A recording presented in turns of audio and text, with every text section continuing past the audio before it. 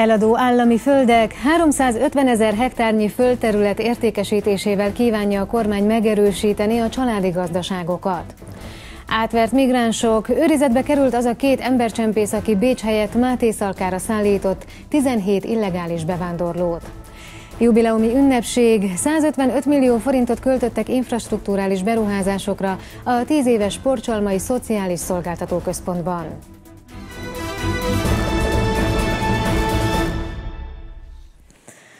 Állami földek eladásával kívánja a kormány megerősíteni a családi gazdaságokat. A Kölcsei Televízió iradóját látják. Köszöntöm Önöket! A tervek szerint mintegy 350 ezer hektárnyi az értékesítendő állami földterület, ami az összes magyarországi mezőgazdasági művelési ágú termőföld körülbelül 5%-a. A részletek kidolgozása még tart, a gazdák azonban már most tájékozódnak az esetleges lehetőségekről.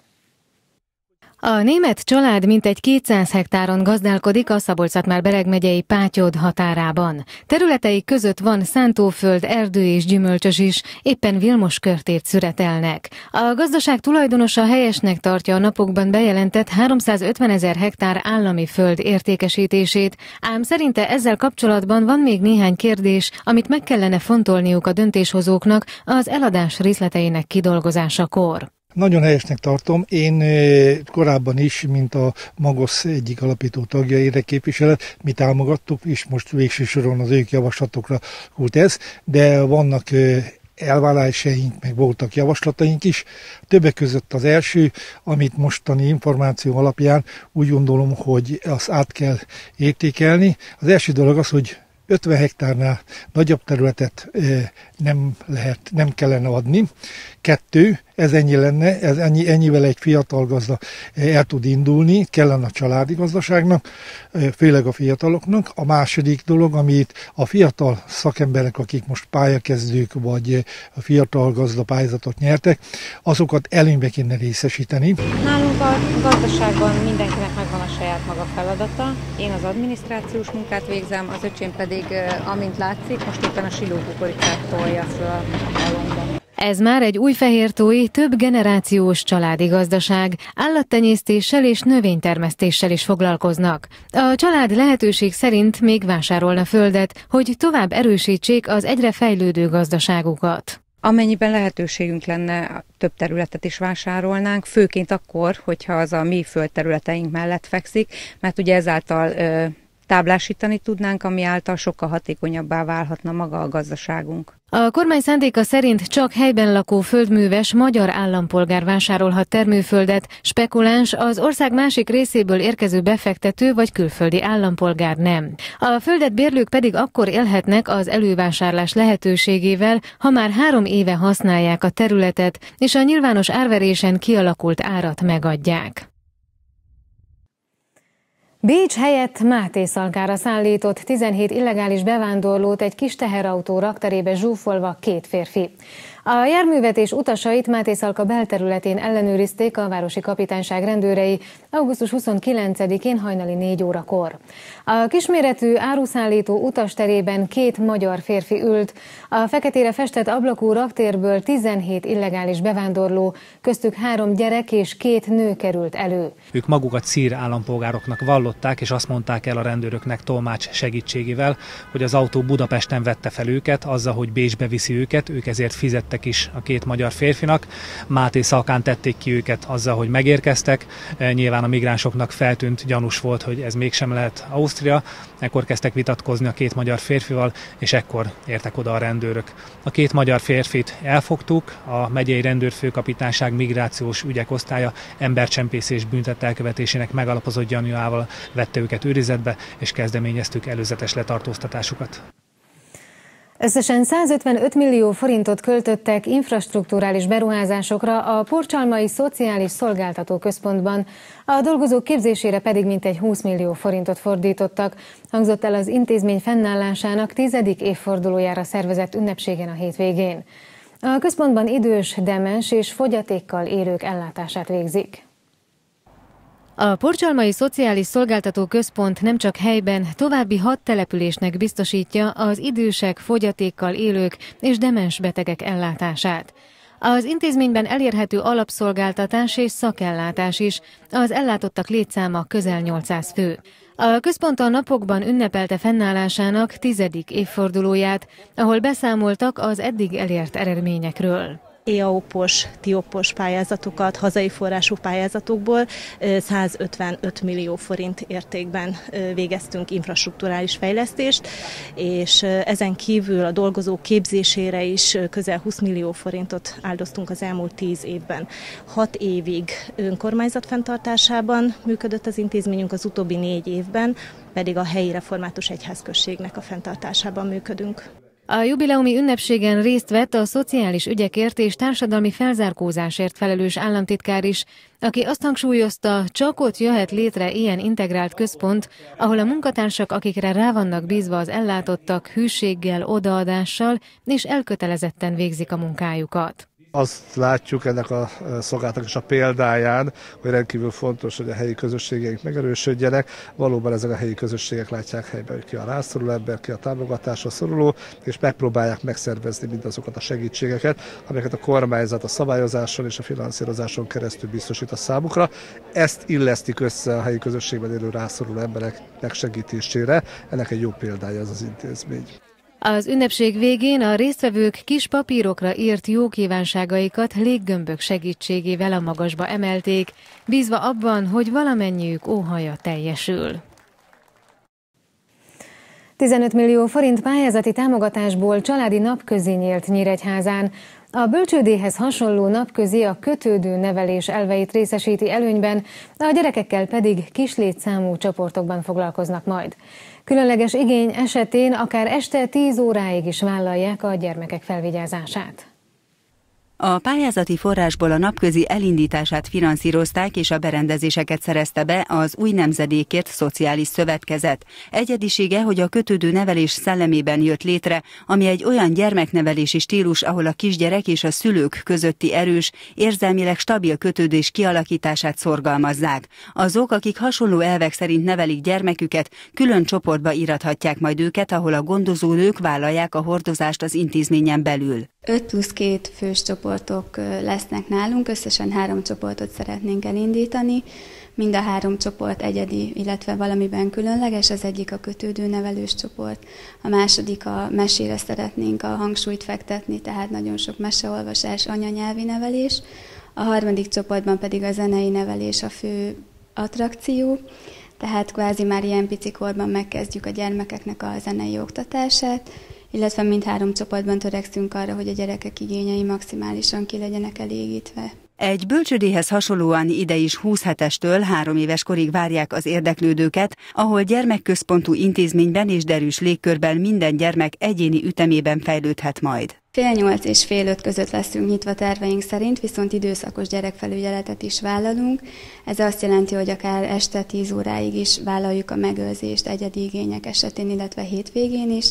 Emellett pedig szeretnénk nem csak a gyerekekkel foglalkozni, hanem sok közös programot a szülőkkel együtt, illetve akár a nagymamákat, nagypapákat is bevonni ebbe a történetbe.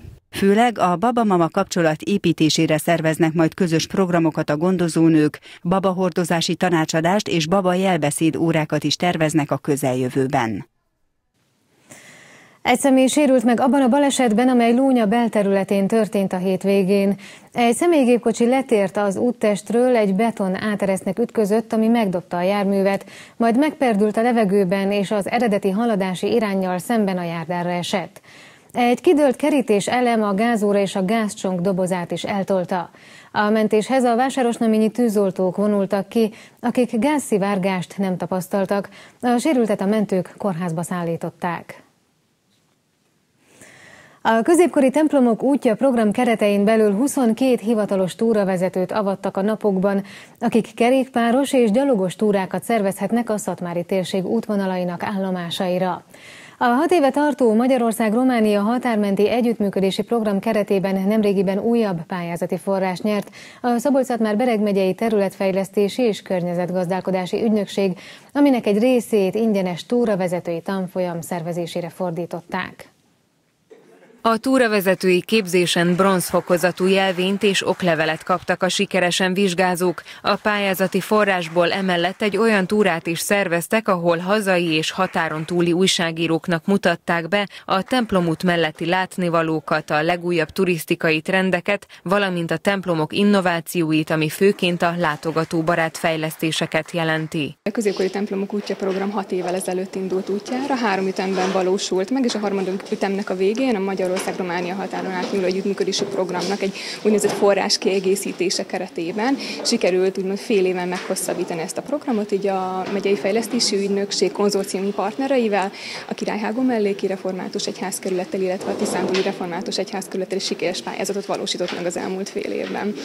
Az egyházkerületek restaurálásra fordították a plusz forrás által biztosított keretet. A fejlesztési ügynökség viszont úgy gondolta, hogy egy igen erőteljes marketing kampányra fogja felhasználni ezt, a, ezt az összeget. A középkori templomok útja program kiemelt célként foglalkozik a kerékpáros turizmus fellendítésével. A templomút emellett busszal és autóval is bejárható. A középkori templomok útja ugye pont ez az egyik apropója ennek a túravezetőképzésnek, és pont az elmúlt héten, hétvégén voltunk egy háromnapos túrán, ahol kicsit jobban beleláttam ebbe az egészbe, és nagyon sok minden, sok össze lehet hozni egy ilyen túrán. Ez a Szabolcs, Szatmár, főleg a Szatmári rész, rengeteg látnivaló van, sok kicsi falu, közel vannak egymáshoz, minden faluban van valami látnivaló, főleg nyilván a templomok, amikre ki van hegyezve ez az egész, fel vannak újítva, és a megye lakosságnak, de nyilván inkább a távolabbi lakosoknak Magyarországon és külföldeknek is rengeteg olyan dolgot tudunk mutatni, vagy ezen a részen, ami máshol nincs és egyedi és a miénk. A középkori templomok útja program a népszerűsítési kampány keretein belül több rendezvényt, könyvbemutatót és időszaki kiállítást is szervez majd. Egymás megismerésének és elfogadásának fontosságára hívta fel a figyelmet a roma kultúra jegyében megszervezett Színezd át családi nap. A rendezvényről hamarosan, előtte nézzük, mi lesz még a mai híradóban. Pénteken elkezdődött a Vidamság és Derű országos seregszemléje. A szeptember 5-ig tartó rendezvény sorozat idején közel 400 program várja a közönséget. A legnagyobb érdeklődés a színházi versenyprogramot övezi, amelynek keretében 8 nagy színpadi és 7 kamara előadást láthatnak majd a nézők. Két felkészülési mérkőzésen két vereséget szenvedett Kassán a Marsó-Nyíregyháza. Az NB1-es bajnokságra készülő férfi kosarasok 92-57-re, illetve 94-66-ra kaptak ki az első osztályú Szlávia TU Kosice csapatától. A második mérkőzésen pályára lépett a nyíregyháziak amerikai légiósa Tét Ánró is.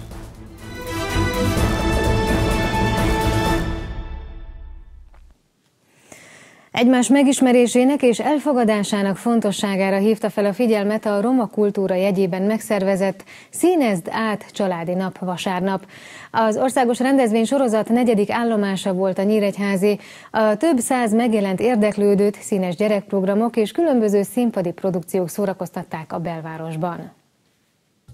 A Vidor Fesztivál programjaként megrendezett ingyenes családi napon már a program kezdetekor több mint 200 gyerek és felnőtt gyűlt össze a városközpontban. A kilenc állomásos országos rendezvénysorozat célja, hogy felhívja a figyelmet egymás megismerésének és elfogadásának fontosságára, valamint arra, hogy mennyi mindent adnak hozzá kultúránkhoz a különböző nemzetiségek.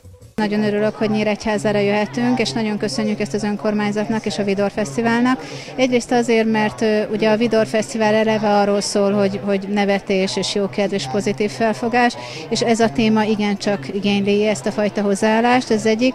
A másik meg, ugye hát itt azért ez a, nem, a, legnagyobb nemzetiségünknek elég szép számban élnek, tehát hogy ők, ők, őket nagyon is érinti ez a dolog, illetve az, hogy ez, ez a fajta egy, másért tevés és együtt gondolkodás megoldás ez még inkább tudjon érvényesülni. Nyíregyháza alpolgármestere Úrik Attila a rendezvényen úgy fogalmazott, minden olyan dologra fel kell hívni a figyelmet, ami a megszokottól eltérő és kisebbségben van, ilyen a roma nemzetiség helyzete is. Meg kell ragadni minden alkalmat arra, hogy, hogy, hogy ezt valamilyen szinten kezeljük, valamilyen szinten megértsük, ez, ez nagyon fontos dolog, illetve segítsük is. Nyíregyháza vezetése ezért gondolta azt, hogy helyet ad ennek a Színezd át programnak, hogy akik itt vannak, romák és nem romák, bármilyen nemzetiségből is származzanak, tanuljanak egymástól, ismerjék meg egymást, a barátkozásra kezdődik az útnak az eleje. A családi napon a gyerekeknek páros játékokat szerveztek, festettek, kézműveskedtek,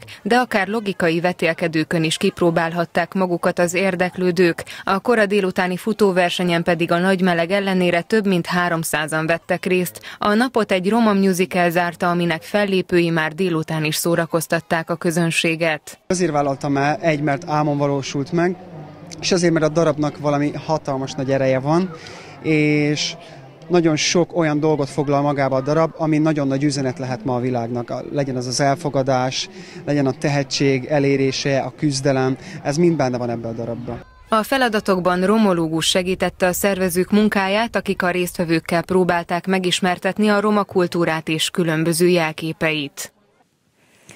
Pénteken elkezdődött a Vidámság és Derű országos seregszemléje. A szeptember 5-ig tartó rendezvény sorozat idején közel 400 program várja a közönséget. A legnagyobb érdeklődés a színházi versenyprogramot övezi, amelynek keretében 8 nagy színpadi és 7 kamara előadást láthatnak majd a nézők.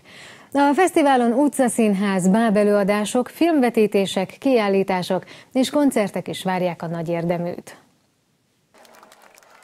14. alkalommal emelkedett magasba a fesztivál nyitányát jelző Vidor léggömb kompozíció a Nyíregyházi Kossuth téren, ahol a közönséget Slanger András, a Múri Zsigmond Színház igazgatója köszöntötte.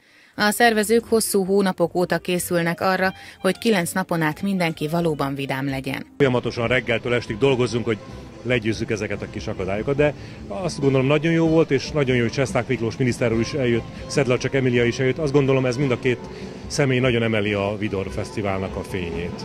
A kormány képviseletében a Nemzeti Fejlesztési Miniszter üdvözölte az érdeklődőket, aki szabolcs már Bereg megyeiként különösen büszke a fesztiválra. Nagyon sokan szeretik, ismerik és várják a Vidor Fesztivált. Én azt gondolom, hogy itt egy fontos dolog van, hogy sokat nevesünk ezen a kilenc napon. Szerintem ez a legfontosabb. Most mondhatnám azt, hogy nagyon sokszor konfliktusok vagy viszályok egy nagy-nagy nevetéssel megoldhatók. Szerintem ez a legfontosabb most, hogy ebbe a zűrzavaros 21. században problémákkal együtt tudjunk nevetni. A résztvevőket köszöntötte Nyíregyháza polgármestere is, aki kiemelte a fesztivál mára a megyeszékhely nyári programsorozatának szerves részévé vált. A marketingünk is jelen van Budapesten, erőteljesen, de látjuk a, például a szobafoglalásokból. Ilyenkor Nyíregyházán minden szálláshely megtelt, és sokan úgy időzítik a nyíregyházi látogatásokat, hogy a Videófesztiválra essen. A hétvégén többek között a Katona József Színház előadásait láthatta a nagy érdemű, de érkezik a Tália, a Centrál, a Madács Színház, a Nézőművészeti Kft., az Aradi Kamara Színház, valamint a Játékszín is. A fesztivál programjainak 90%-a ingyenes. A következő napokban nem csak a megyeszékhely, hanem 22 megyebeli település lakói is részesei lehetnek az év legvidámabb hetének.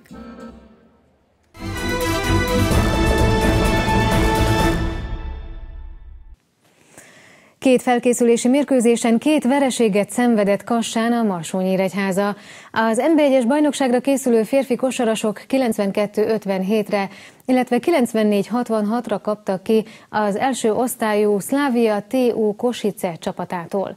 A második mérkőzésen pályára lépett a nyíregyháziak amerikai légiósa Tét Áru is. Az elmúlt hétvégét Kassán töltötte a Marsó Nyíregyháza, amely a szlovák élvonal újoncával a komoly terveket szövegető, éppen ezért alaposan megerősített Szlávia TU Kosicével játszott két edzőmeccset. A folyamatosan négy amerikai légiós pályán tartó hazaiak 35, illetve 28 pontos győzelmet arattak, de a vendégek számára nem az eredmény volt az elsődleges szempont. Az látszik, hogy mi még ugye a felkészülés negyedik hetét fejeztük be, itt még azért a játékosok inkább a fizikai dolgokat fejlesztük, nem, nem a játékos képességeket. Nyilván ez majd fog változni idővel. Nekünk a célja az volt az egész hétvégi tornának, vagy a meccseknek, hogy megnézzük, hogy a külföldi játékosaink, akik próbajáték jöttek, illetve az új játékosok, fiatalok milyen forma vannak, mennyire tudunk rájuk számítani. A fiatal játékosainkról csak jót tudok mondani, nagyon jó a hozzáállásuk, Nyilván nekik még kell rutint szerezniük, fizikálisan fejlődniük, de abban az időszakban, most járunk, abban tökéletesen részt tudtak venni a meccseken. Illetve voltak a külföldiek, akiket megnéztünk, hogy melyik posztokon tudunk játszatni. Kassán bemutatkozott a nyíregyházi csapatban az amerikai Tate Anru, aki az Ausztrál bajnokság zárását követően egy rövid hazautat közbeiktatva érkezett Magyarországra. Egy edzésen tudott részeni velünk, azt szombati mérkőzés előtti délőttön, akkor mutattunk be neki pár figurát, és a szombati mérkőzésen már játszott, úgyhogy nem volt még igazából nagyon fit állapotban, de nagyon meggyőző benyomást nyújtott ránk.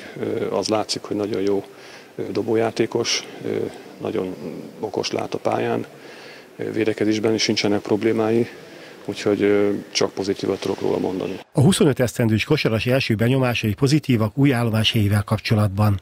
Nagyon izgatott vagyok a lehetőségek miatt. Ez eddig a legprofibb csapat, amelyikbe jártam, és meglepően sok ember beszél itt angolul, úgyhogy jól érzem magam. A nyíregyháziak ezen a héten tíz edzésen vesznek részt, a hétvégén nem játszanak meccset, a jövő hétvégén viszont visszamennek Kassára, ahol egy négy csapatos tornán lépnek majd pályára. Híradónk végén nézzük a legfontosabbakat, még egyszer röviden. Állami földek eladásával kívánja a kormány megerősíteni a családi gazdaságokat. A tervek szerint mintegy 350 ezer hektárnyi az értékesítendő állami földterület, ami az összes magyarországi mezőgazdasági művelési ágú termőföld körülbelül 5%-a. A részletek kidolgozása még tart, a gazdák azonban már most tájékozódnak az esetleges lehetőségekről. Bécs helyett Máté Szalkára szállított 17 illegális bevándorlót egy kis teherautó rakterébe zsúfolva két férfi. A járművet és utasait Máté Szalka belterületén ellenőrizték a városi kapitányság rendőrei augusztus 29-én hajnali 4 órakor. A kisméretű áruszállító utasterében két magyar férfi ült. A feketére festett ablakú raktérből 17 illegális bevándorló, köztük három gyerek és két nő került elő. Két embercsempészt a rendőrség őrizetbe vette. Összesen 155 millió forintot költöttek infrastruktúrális beruházásokra a Porcsalmai Szociális Szolgáltató Központban, a dolgozók képzésére pedig mintegy 20 millió forintot fordítottak, hangzott el az intézmény fennállásának tizedik évfordulójára szervezett ünnepségen a hétvégén. A központban idős, demens és fogyatékkal élők ellátását végzik.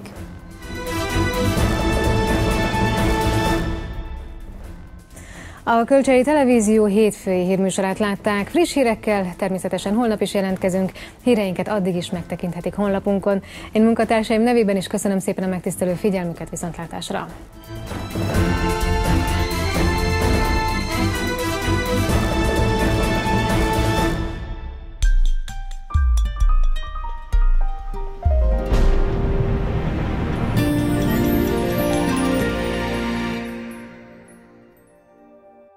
Folytatódik a hőség, a meteorológiai ősz első napján is száraz, igen meleg afrikai eredetű levegő alakítja a Kárpát-medence időjárását, Éjjel gyengén felhős idő várható, csapadék és számottevő légmozgás nem lesz, reggel általában 17 fokig csökken a hőmérséklet.